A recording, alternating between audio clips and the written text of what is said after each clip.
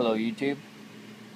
Uh, after looking all over YouTube on a video to find out how a Magnehelic works, I decided I was going to take it apart and figure it out myself and thought I'd put together a video and show any of you guys like me who are interested in how this thing works but doesn't really want to take apart your new Magnehelic.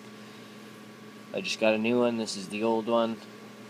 Figured the, the top ring was already hand tight, loose, so Unscrewed it and pulled it apart. And this is what I found. Um, basically, this just sits on top.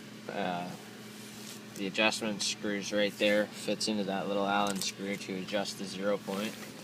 And this ring just screws onto the top and it holds that piece of plastic in place. Now what's interesting about this gauge is the way that it works. It's obviously there's a, a diaphragm in there. Um, as you can see, well, you can't really see the diaphragm. I can't show you. It's basically a piece of plastic and a port on the top and a port on the bottom of the plastic. If you put pressure in the uh, in the the bottom, it's obviously going to push the the plastic up like that, and if you do it the other way, it's going to suck the plastic down the other way.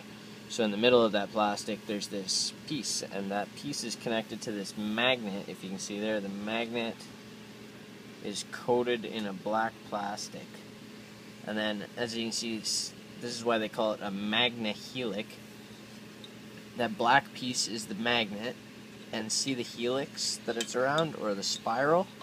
As the magnet moves up and down, it, it the magnetic field, see how it pulls the spiral to the magnet, and the gauge turns. So as the pressure moves the um, the diaphragm in there, the magnet moves up or down, and as the magnet moves up or down, it turns the, the needle on the gauge.